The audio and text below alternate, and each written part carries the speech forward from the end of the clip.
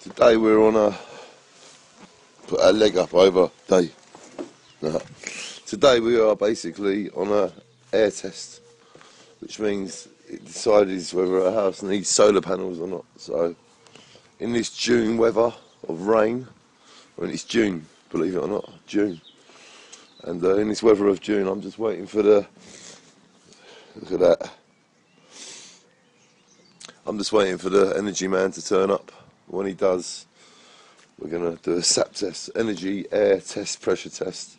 That determines whether a building needs solar panels or not.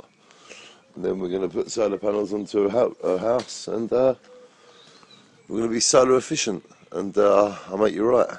And uh, rain or shine, we will shine on. And God bless us all. Take a look at this weather.